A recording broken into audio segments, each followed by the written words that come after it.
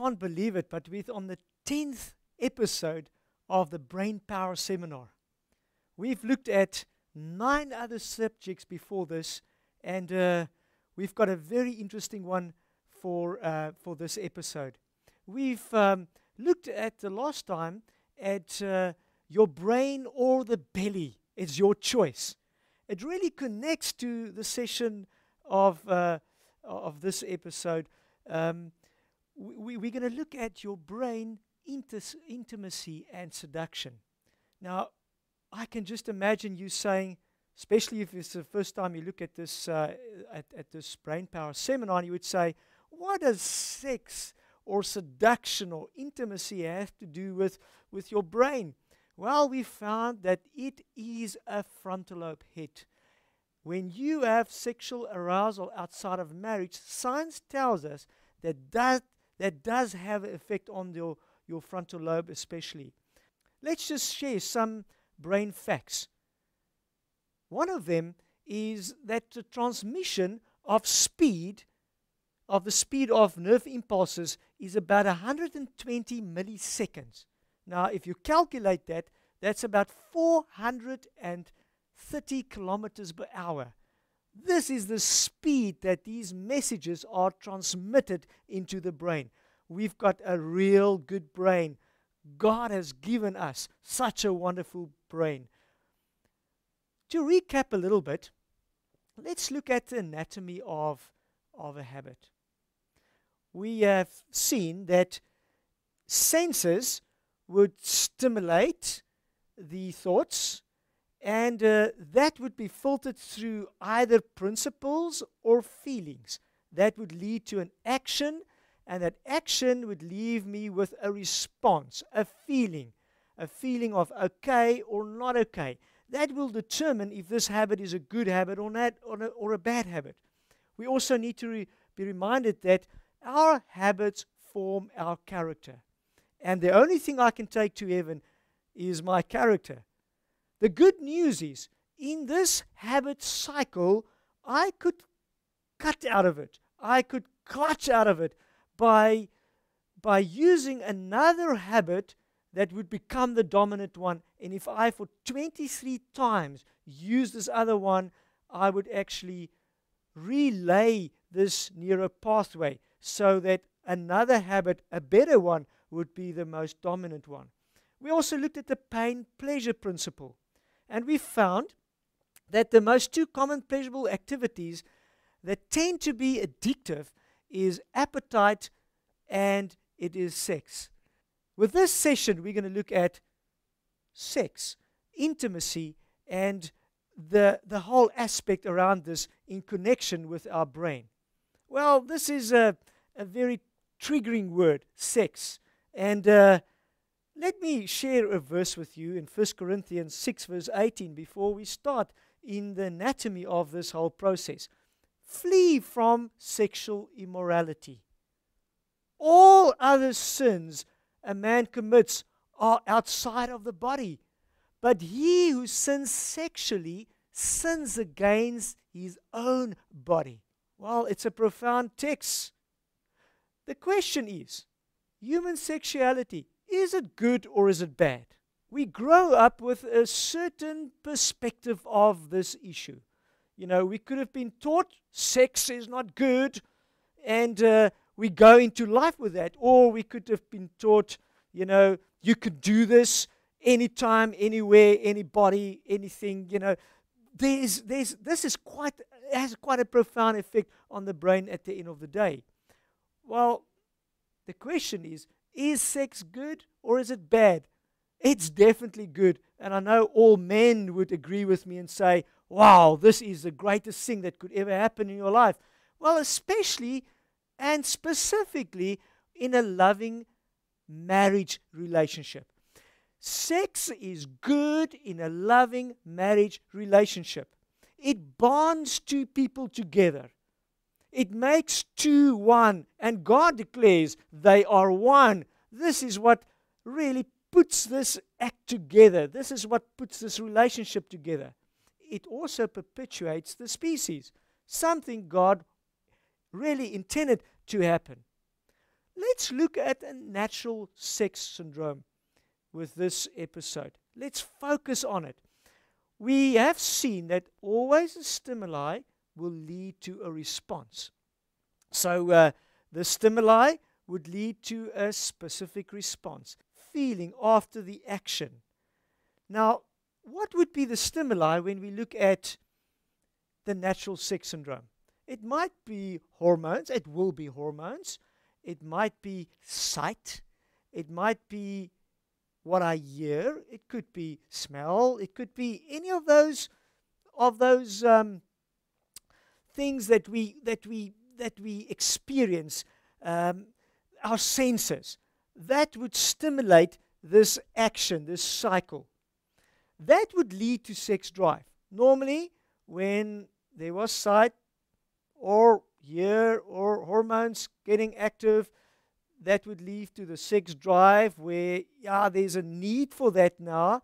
And when it's in a loving relationship, when I'm married and uh, we have chosen not to have this act when we're not married, this cycle would carry on and we would have the sex act, or we won't have the sex act when I'm not married. The outcome, the response would be satisfaction. If I'm not married, I don't go through this emotion I stop, I delay because I am not married to one specific loving partner, the response would be satisfaction. If I go through this process, I am married, I would have the sex act, I would feel satisfied. My spouse will feel satisfied. We will feel complete. And the cycle is complete. God is in the cycle. I want to share with you the unnatural sex syndrome something that we see happening in our society more and more and more. Now, the stimuli would be hormones, yes, and the sight would be there, and the hearing and the smell, and all of those things would be there. That would lead to, lead to sex drive. But there's another component that we see in a unnatural sex syndrome the component of, yeah, fantasy fantasy starts playing a role in the unnatural sex syndrome? Well, sex drive leads to uh, a need, and that will lead to the act. Now, in an unnatural sex syndrome, it could be an act with somebody that I am not married to.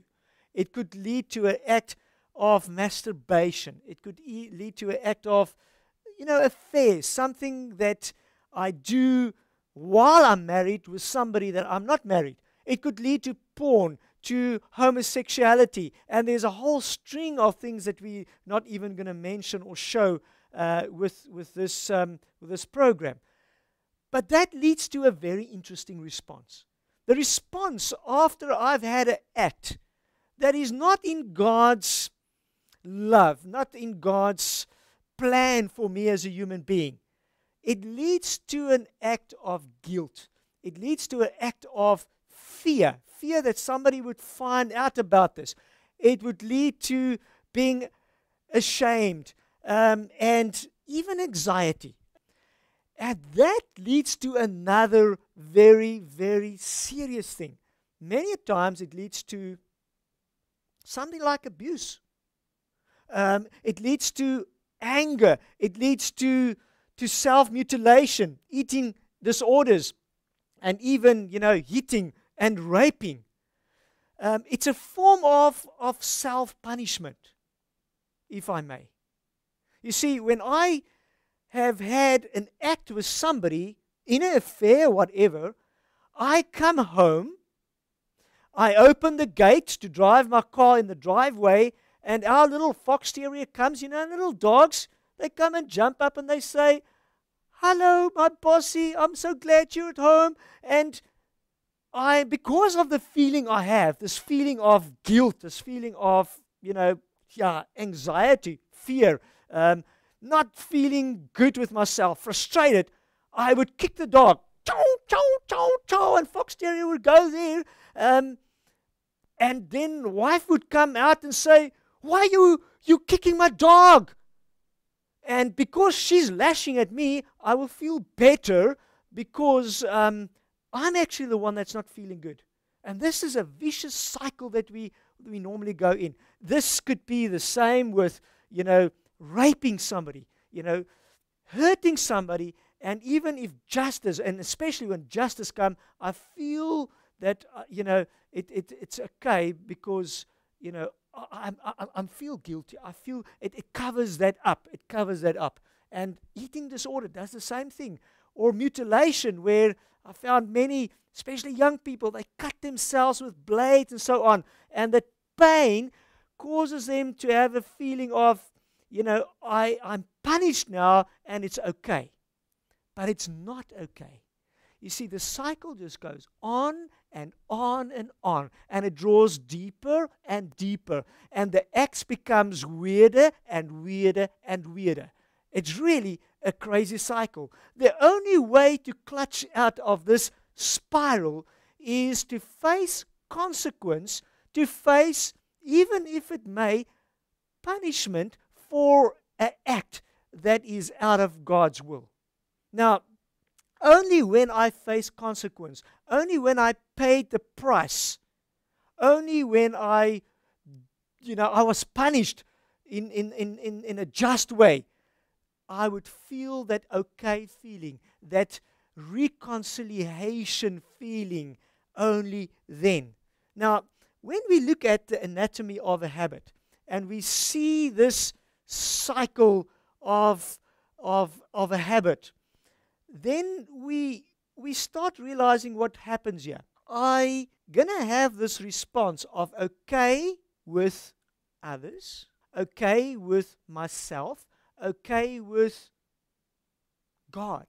The moment I go out of God's will, there's a feeling of not okay. Not okay with myself.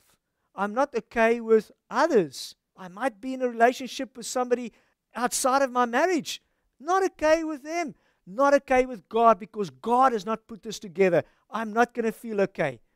Now, this, the physiology of a faulty sexual conditioning is really very important to look at. Before we go there, I need to just make mention, going back to the unnatural sex syndrome, that there's a, there's a very important thing that we need to just emphasize here.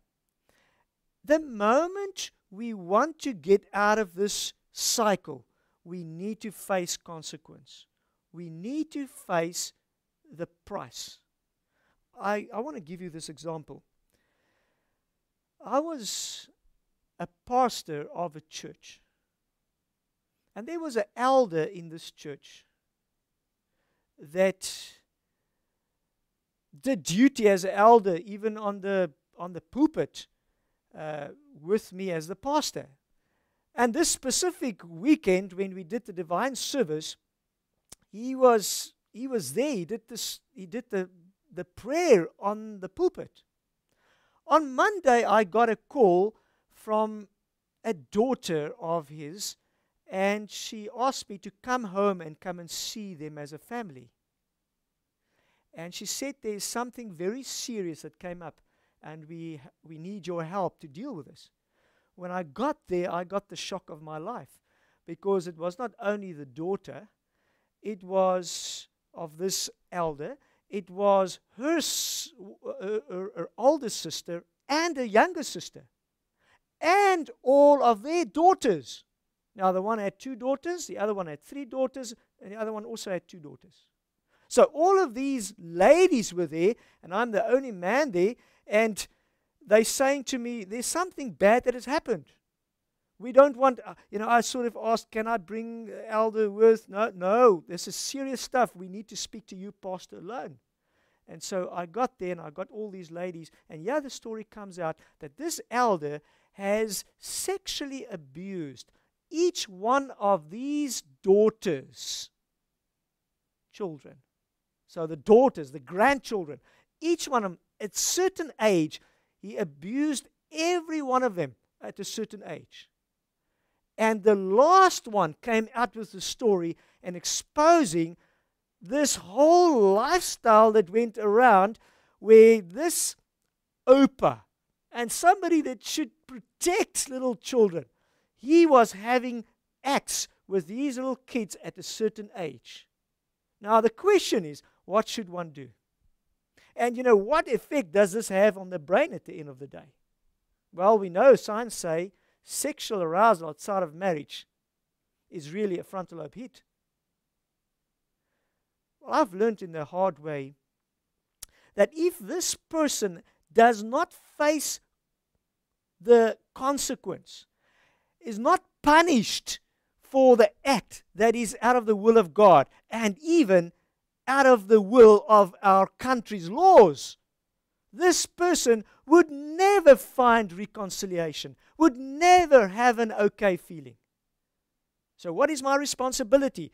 In a case like this, where minors are involved, we need to report this and have a process going where we help this person to face consequence, to pay the price so that he or she would be free to have reconciliation and feel okay again. The moment this elder would face the consequence of him really going against God's will and facing the consequence, maybe being punished, only then would he have reconciliation in his own life. Now, what's very important for us to know is that this is a whole process. You see, the most common sexual acts that we find in today's society is something like masturbation. Now, you know, when I mention this word, some people really their hair goes up straight because there's such mixed feelings about this subject.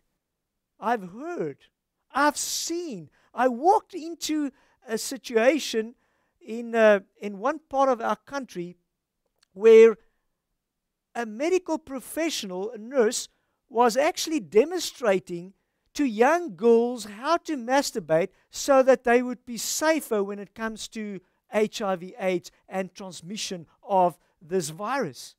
The other one is homosexuality. And there's heterosexuality. And the list actually goes on. We're just going to look at, at these basically.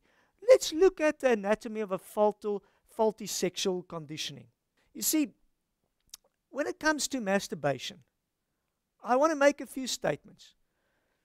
Puberty sets in at the age of 8 to 12 nowadays. When you go back 30, even more years back, we find, and I ask this in all my audiences, when you think back, when did we get to puberty? And they would say, well, it was like 14, 15, 16 years old. Today's reality is it's 8 to 12 years that we get to puberty. That means it's difficult to refrain from sex activity until the marriage of 20, 30, you know, that period. So we get involved with this. And yeah, the media and all of that is telling us we should do this, we should go for this. Well, masturbation is the first form of sexual activity. And the fact is, we're equipped to do it. We have the privacy to do it. And in, as I explained, in some cultures, in some circumstances, even encouraged to do this. Now, masturbation is not very satisfactory uh, at the end of the day. If you would compare this with an act with your, your spouse that you're in love with, it's like, you know, learning to swim by correspondence. It's really not satisfying. It's not really not uh, working. It needs to be activated, or, you know, another syndrome needs to be acted on to get this whole act together. And so fantasy comes in here. So, you know, we look at. Uh, you know, media, we looked at pornography, we look at literature, we look at uh, pictures to, to really activate this whole thing and get this ball going. Very, very important that we realize that this whole onset of puberty, that's so much early in life, is because of many times the lifestyle that we follow. We have not had such a big impact of, um, of a protein diet in the, in the years past. Protein. Meat was used as a, as a flavorant, it wasn't used as the food. Today, we invite people for a barbecue, we invite them for a potjie, and we know what's going to be in there. That is what it's about. And we find the way that they feed the animals a lot of hormones, a lot of things that would really activate uh, the, the growth and really get this animal to be big and strong and fat very quickly, we find we eat that. This hormones is this system, and it actually really shortens the period up to where puberty should actually start. And that has a whole commotion. People, what we eat, this is what we are. We need to start looking at this from a, from a, from a, from a different vantage point. I want to just give you a few pointers on how to change a habit. Start with accepting a promise from the one who is bigger than us. You know, God said, No temptation shall take you but what is common to man. But God is faithful, who will not allow you to be tempted above what you are capable of. And with the temptation also will make a way to escape so that you may be able to bear it. I love God for this. He says, I'm not going to tempt you above what you can handle. I want to just take you to another very important principle, and that is we need to make a decision beforehand around this whole sexuality thing. You see, if I set myself up for success with this, I have a better chance.